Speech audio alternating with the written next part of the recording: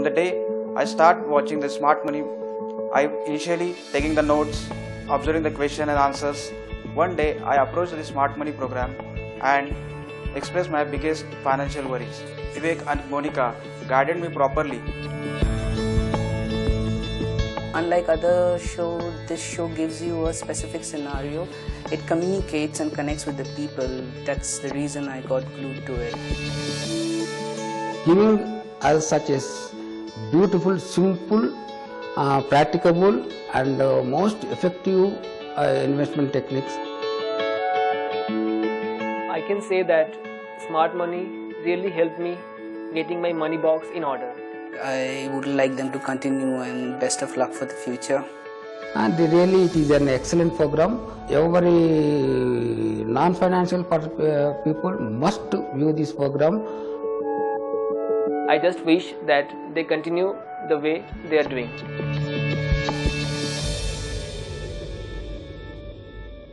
Hello and welcome to this 50th episode of Smart Money. On behalf of the entire team, we take this opportunity to thank all our viewers who have stood by us and given us an overwhelming response in our effort in helping you manage your money smartly.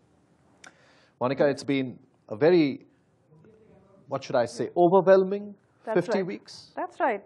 I'm surprised. I thought this was a business channel, and people in smaller cities are probably not into watching a channel which is relatively less known, maybe in the hinterlands. But our mail shows that uh, people across the country are watching uh, the show and the channel. So it's been a really good journey, and also a validation of some of uh, the ideas that we began with. We said no tips. We're not going to tell people what to do with uh, one lakh rupees or two lakh rupees or what stock to buy. We are going to do a strategy-based show. We are going to do something which adds value. We are going to do something which empowers people.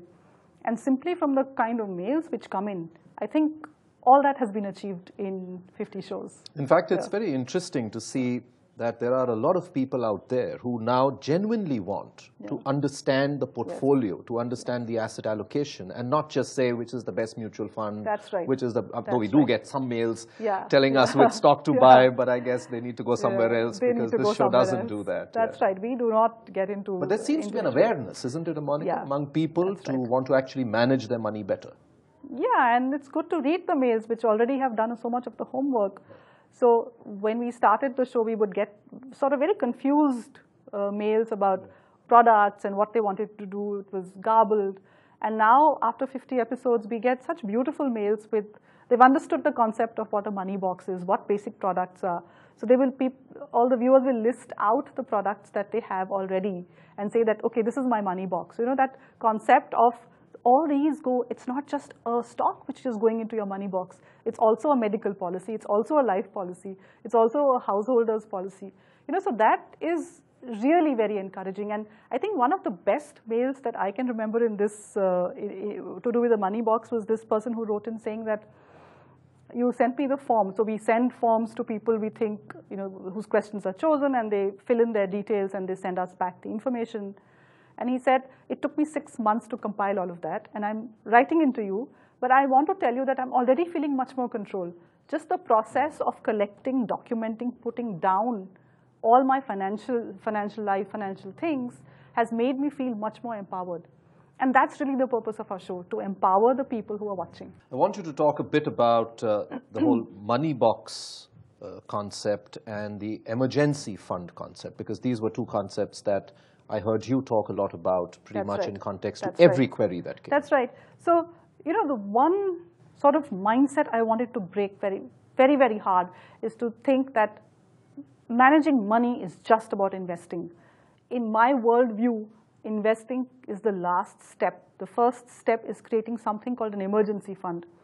A lot of us feel fear in our places of work because we don't know it's, it's really, you know, jobs are not secure anymore. A lot of worry about your everyday sort of life is about what will happen if there's an emergency? What will happen if I lose my job? Now, if you've created this an amount of money and you've labeled it emergency fund, you're not dipping into it to buy uh, whatever, some gadget or something else, that money is labeled, it's called an emergency fund. I think you're able to take many more risks with what you want to do, and you're able to be much more secure about your own life. So that's a concept a lot of people have really understood very well. So that's your first thing that you do in your uh, money box.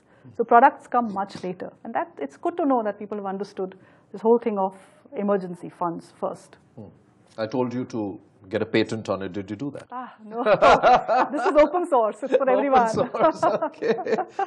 so what's the guru in you saying? Oh, God. What's, what's the life question about money? It is embarrassing, but I will still answer that. Okay. The guru speak is that uh, money is a force, and we should understand what it can do. We are the trustees. So it is there for our need, but not greed, for use and not misuse. Well said, Monika, like always. Let's take a quick break here. On the other side, we tell you how to choose the correct Mediclaim and what can act as a comprehensive guide to help you make that informed choice. Keep watching Smart Money.